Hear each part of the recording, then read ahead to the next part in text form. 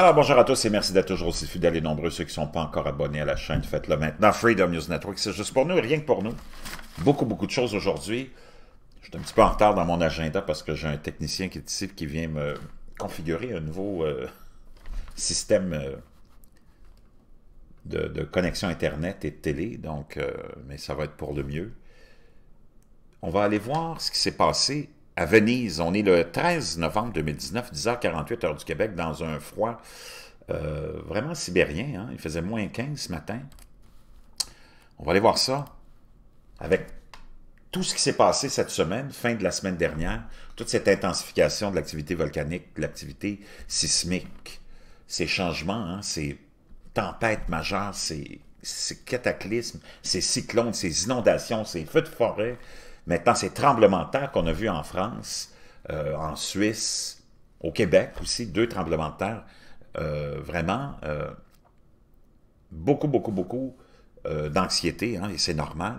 Ce passage, ce transit de Mercure aussi, hein, qui s'est fait lundi, le 11, et plein d'autres événements, nous ramène aussi avec le minimum solaire, le grand minimum solaire, à des questions fondamentales de ce qu'est-ce qui, nous attend vraiment? Est-ce qu'on est préparé à ce qui, s'en vient? Imaginez-vous si on entrait dans une période de minières glaciaires qui sont cycliques et qui peut-être sont sur le point de débuter pour plein de raisons qui sont toutes réunies et qu'on n'est vraiment pas préparé pour ça. Qu'est-ce qu'on va faire à affronter un climat qui va devenir très austère, très... Euh, c'est cyclique, il faut le savoir que c'est cyclique, puis il faut savoir que ça s'en vient, puis qu'il n'y a personne qui vous prépare pour ça.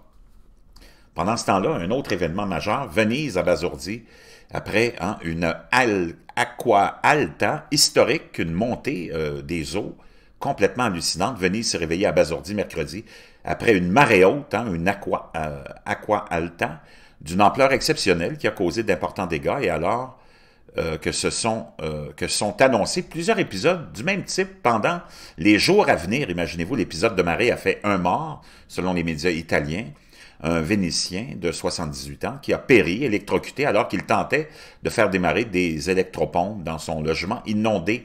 Nous affrontons aujourd'hui encore des marées records. Nous demandons au gouvernement de nous aider. Les coûts seront élevés.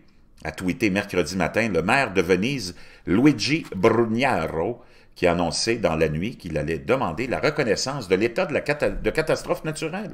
La situation est désastreuse. On se prépare à un nouvel, épisode ce matin, a déclaré pour sa part le gouverneur de la région de Vénétie, Lou Casaya, interrogé sur la chaîne d'information Sky TG, euh, Téléjournal 24, appelant à la plus grande prudence une marée haute d'une ampleur exceptionnelle de 1,8 ou presque 1,9 mètres s'est abattu mardi sur la cité des Doges, surprenant les touristes qui pataugeaient dans les ruelles inondées, tandis qu'un puissant sirocco faisait déferler les vagues sur la place Saint-Marc. Donc vraiment, euh, quelque chose d'exceptionnel, quelque chose de, vraiment euh,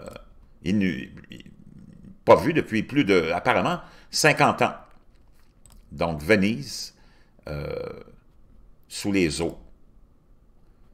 Et ils en ont pour plusieurs jours. Beaucoup, beaucoup de nouvelles. J'ai tellement de choses à vous partager.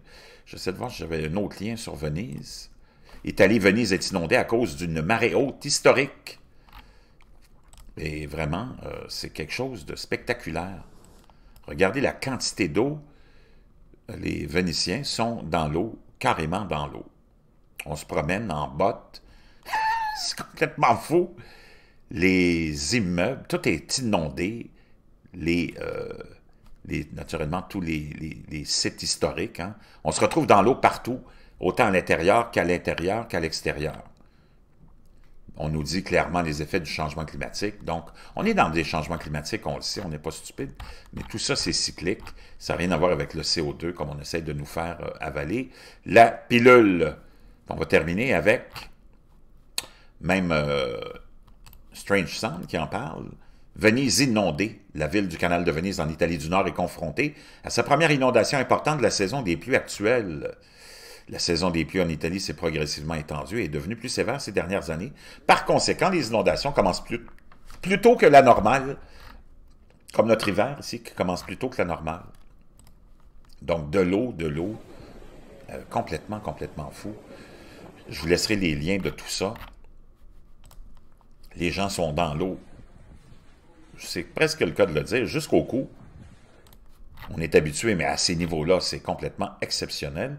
Plus le niveau de l'eau est élevé, plus l'impact sur la ville est important naturellement. On voit des images complètement hallucinantes. Je vous laisserai tout ça dans la boîte de description. Donc, Venise, sous l'eau, chers amis.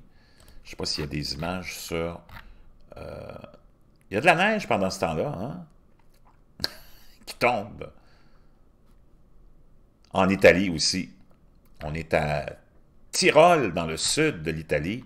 On voit des images ici de cette marée haute, des images hallucinantes, de l'eau partout, partout, partout.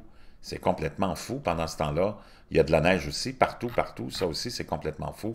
On voit ici encore des images de l'aqua halte à la marée haute, avec des pluies diluviennes qui continuent à s'abattre, de l'eau qui rentre partout. Regardez ça dans les commerces. Il n'y a personne qui est à la C'est complètement hallucinant. Le déluge. Le déluge total. Les gens de l'eau jusqu'à la taille, chers amis. Donc, on est dans des moments, des, moments très anxieux, euh, d'un très haut niveau d'anxiété.